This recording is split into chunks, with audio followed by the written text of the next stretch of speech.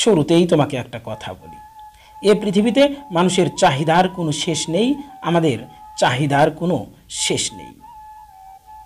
আমরা প্রতিদিন নতুন কিছুকে খুঁজি এবং সেটা পেয়ে গেলে দ্বিতীয় কিছুকে খুঁজি, আর না পেলে অনেক বেশি আফসোস করি। কিন্তু এ পৃথিবীতে এমনও কিছু জিনিস আছে যেগুলো না পেলে কখনো আফসোস করা উচিত নয়। আজ কথা বলব তেমন কিছু বিষয়ে, তেমন কিছু সম্বন্ধে। যেগুলো নিয়ে কখনো আমাদের আফসোস করা উচিত নয়। প্রিয় ভাই আমার, ছোট্ট বোনটি আমার, আমি শুরুতেই একটা কথা বলেছিলাম। আমাদের জীবনে চাহিদার কোনো শেষ নেই, আকাঙ্ক্ষার কোনো শেষ নেই। হ্যাঁ এ পৃথিবীতে মানুষই একমাত্র প্রাণী যে নিজেকে দুঃখী আর অপরকে সুখী মনে করে। আমরা কেউই নিজের জায়গা থেকে, নিজের স্থান থেকে সুখী নই।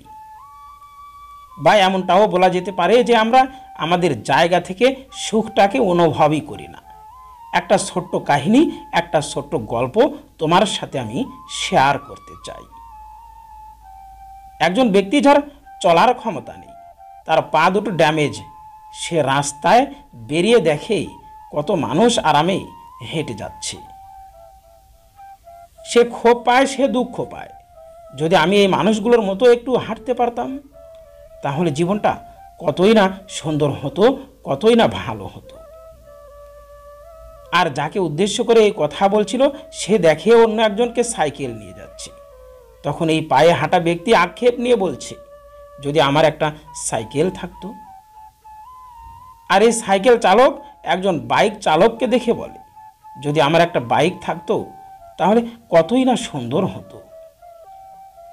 এত কষ্ট করতে হতো না। জীবনটা কতই না সহজ হয়ে যেত। এবং সেই বাইক চালক দেখে একটি চার চাকার গাড়ি তাকে পাশ কাটিয়ে চলে যাচ্ছে।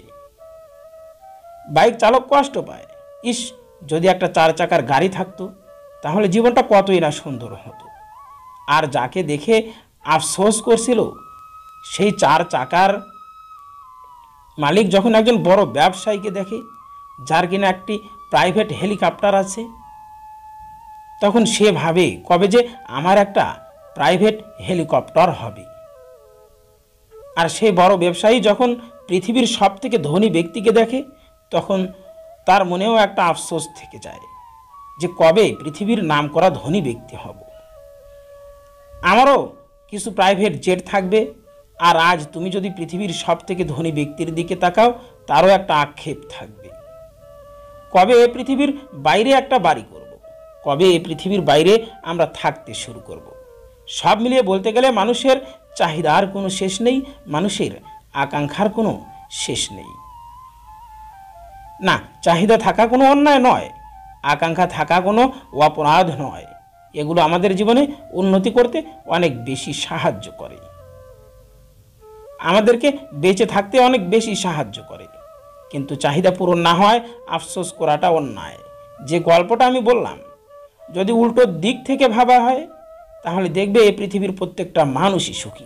এমনকি সেই ব্যক্তি যার কিনা হাঁটা চলার কোনো ক্ষমতা নেই। যদি সে ভাবে যে এর থেকেও আমার সাথে অনেক বড় কিছু ঘটতে পারত, আমার সাথে এর থেকেও অনেক খারাপ কিছু হতে পারত। শোনো, তোমাকে একটা কথা বলি। কখনোই নিজের চাহিদা পূরণ না হয়, আফসোস করো না। কখনোই নিজের স্বপ্ন পূরণ না হয়, আফসোস করো না। তার কারণ এই পৃথিবীতে যেটা হয়, সেটা ভালোর জন্যই হয়। এ পৃথিবীর পরিচালক জানেন কোনটা আমাদের জন্য সঠিক আর কোনটা ব্যাঠিক। অনেক সময় অনেক খারাপ কিছুর পিছনে অনেক ভালো কিছু লুকিয়ে থাকে। তাই যদি কখনো নিজের স্বপ্ন পূরণ না হয় বা স্বপ্ন পূরণ হতে দেরি হয়, তাহলে কখনো আফসোস করো না। এই পৃথিবীটা একটু অন্যরকম। একজন শিশু বড় হতে চায় আর একজন যুবক সে শিশু হতে চায়। যে বেকার সে চাকরি পেতে চায়, আর যে চাকরি পেয়ে গেছে সে ফ্রি হতে চায়। যে অবিবাহিত সে বিবাহ করতে চায়, আর যে বিবাহিত সে স্বামী স্ত্রীর ঝামেলা থেকে পালিয়ে বাঁচতে চায়। গরিবেরা ধনী হতে চায়, আর ধনীরা চায় কোথায় একটু শান্তি খুঁজে পাওয়া যায়। সাধারণ মানুষ সেলিব্রিটি হতে চায়, আর সেলিব্রিটিরা সাধারণ মানুষের মতো বাঁচতে চায়। তাই কখনোই দুঃখ নিও না। কখনোই কষ্ট নিও না। হতে পারে একটা সময় আসবে যখন তোমার মনে হবে, যদি এই দিনগুলোকে ফিরে পেতাম, তাই নিজেকে আনন্দে রাখার চেষ্টা করো। না, কখনোই আফসোস করো না। মনে রেখো, এই পৃথিবীর অনেকেই তোমার মতো জীবন পাওয়ার স্বপ্ন দেখে। হ্যাঁ এই পৃথিবীতে এমন অনেক মানুষ আছে, যারা তোমার মতো জীবন পাওয়ার জন্য আক্ষেপ করে। দ্বিতীয় যে কারণে আমরা সব থেকে বেশি আফসোস করি, সেটা হলো আমাদের অতীত। হ্যাঁ আমরা আমাদের অতীতকে নিয়ে অনেক বেশি আফসোস করি। কিন্তু মজার বিষয় কি জানো? আমরা কখনোই আমাদের অতীতকে পরিবর্তন করতে পারব না। আমরা কখনোই আমাদের অতীতে ফিরে যেতে পারব না। তারপরও মানুষ দ্বিতীয় যে কারণে সব থেকে বেশি আফসোস করে সেটা হলো অতীত। হ্যাঁ অতীতের কিছু ঘটনা, যেগুলো আমরা হয়তো মেনে নিতে পারি না। আর সত্যি বলতে এটা আমাদের অনেক বড় একটা বোকামি। তার কারণ যেটার উপরে আমাদের কোনো আয়ত্ত নেই, সেটা নিয়ে আফসোস করা, দুশ্চিন্তা করার কোনো মানেই হয় না। তাই অতিরিক্ত প্রত্যাশা, পরিহার করুন।